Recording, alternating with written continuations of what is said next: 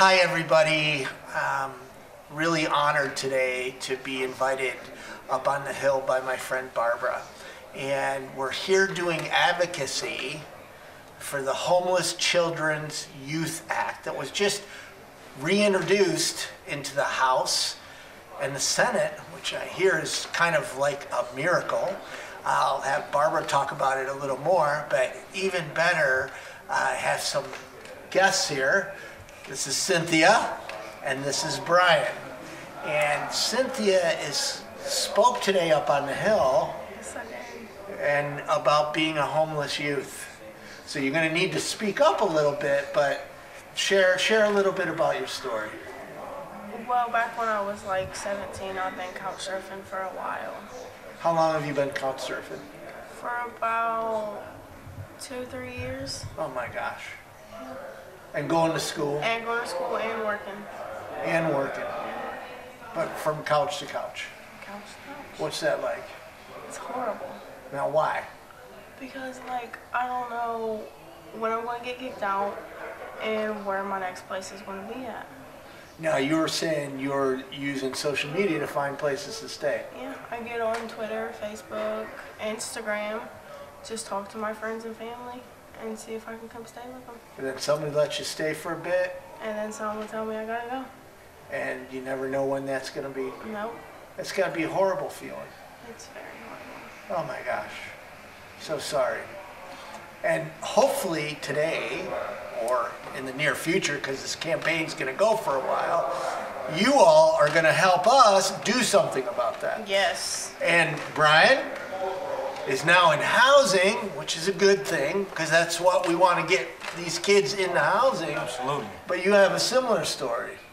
Yes. Um, I've pretty much been homeless four years off and on. Um, it varied. Uh, my last recent homeless uh, incident was like August. Uh, I got kicked out, got my money taken. Uh, my step parents had kicked me out. Um, I got introduced to this place called Star House. Uh, went to a shelter. They didn't help me find shelter. Uh, I mean, they didn't help me find uh, housing. I found housing myself. Uh, worked out, worked it out. Uh, had good friends and good teachers at school uh, to help me uh, on my mission. Um, I pretty much uh, help me out here. Help me out here. Oh, pre- you, you were, you know, going from couch to couch Yeah, yourself. Pretty much, I pretty much was going from couch to couch, uh, trying to make it, trying to make ends meet. Um, I had a baby on, on the way. In the midst of all of that, uh, got a baby who's due.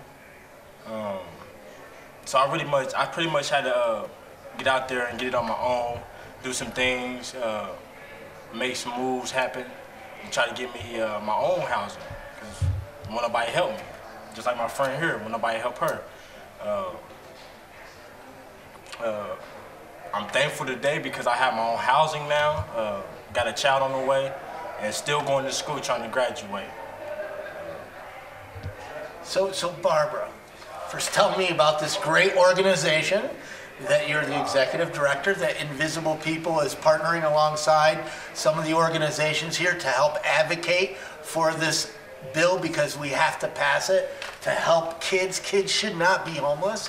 Tell us what's happening, why we have a need for this bill, what was monumental about today, uh, the representatives and senators that are helping make push this through because they are heroes.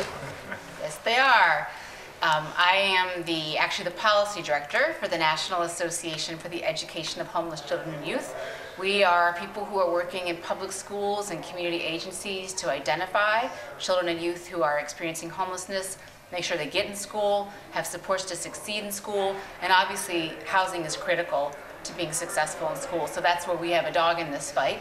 Um, the legislation today, the Homeless Children and Youth Act, is monumental. It is bipartisan, it is bicameral, which means House and Senate, and it was reintroduced today to a room full of congressional staff and others who were hearing directly from young people, hearing directly from liaisons and service providers about why this bill needs to pass and why there's urgency behind it. We have too many young people, too many children and families who aren't recognized and who aren't able to access the supports they need to get back on their feet. So, the foundation of this bill is really HUD, Housing and Urban Development, which is a great organization, not trying to slam anybody. Um, they do a point in time count and they collect data on homelessness. It's very important that we have data. However, HUD excludes a certain demographic, which happens to be homeless families, homeless youth. As a family case manager in Los Angeles, when I worked in homeless services, I literally would have to turn families away. Let's say a family had lost their job, lost their income, and stayed in a hotel for a while, but then came to us because they didn't have any place else to go and lost their, their money. We would have to say, sorry, we can't help you you have to sleep in your car for a night, or you have to sleep outside on the grass for a night with your children because HUD does not classify you as homeless, so we cannot offer you support. I literally turned homeless families with homeless kids away. That to me is a disgrace. So, what this bill basically is saying is that the Department of Education, which counts homeless youth all year long, is saying there's approximately 1.2 million homeless youth. You know who's not being counted by the Department of Education?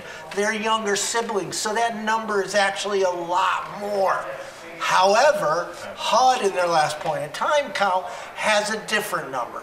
When you do the math, that means our government, HUD, Housing and Urban Development, is not recognizing 900,000 900,000 homeless children and youth are invisible, invisible to our government. And as one of the speakers said today, it's almost as if they're saying that homeless youth and homeless children do not matter.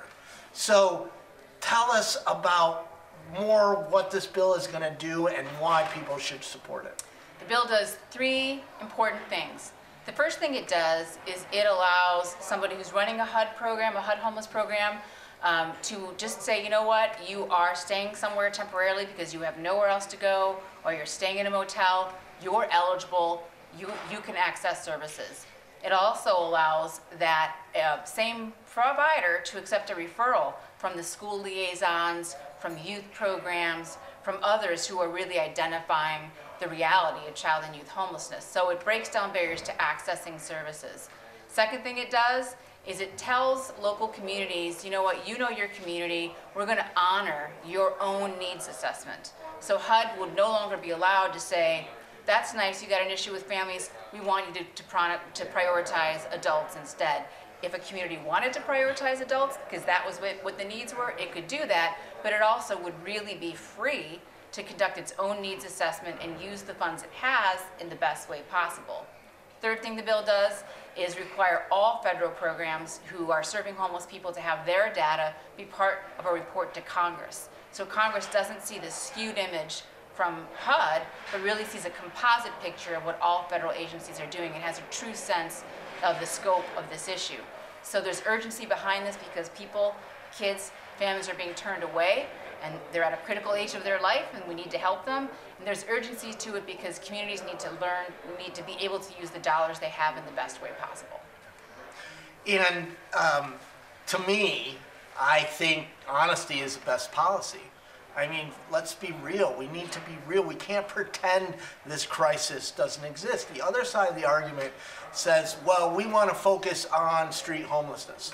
And yeah, that's important, but we need to end all homelessness and skewing the numbers, cooking the books, playing this game, and excluding, you know, 900,000 homeless youth is unacceptable. And, you know, to me, we need to fight all homelessness. We need to fight all homelessness. And Brian's lucky, he's got a place. We need to get you a place. Yes, and there's hundreds of thousands of younger girls and guys and families out there that need help. Yes, they do. Well, tell us about that. It's terrible. All the young the little girls and guys are always outside. They don't know where they're going. They don't know who they can go get help from because nobody wants to help them.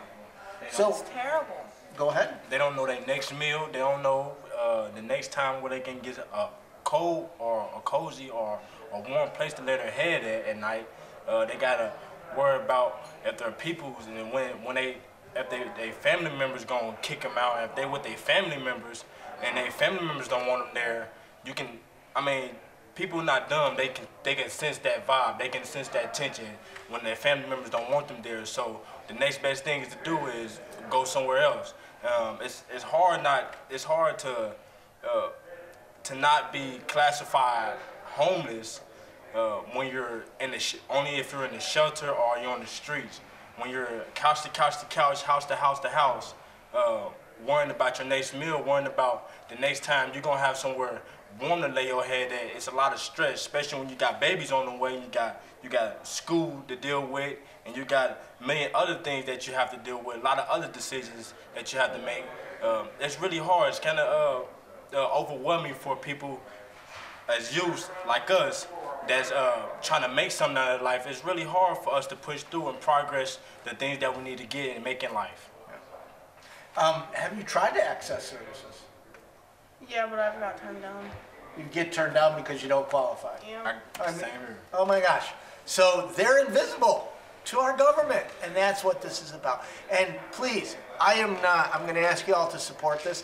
I am not saying stop supporting street homelessness. We need to. I was a street homeless person. You know, we need to keep fighting veterans homelessness. Horrible. We need to keep the pressure on to end all veterans homelessness. That's a no-brainer.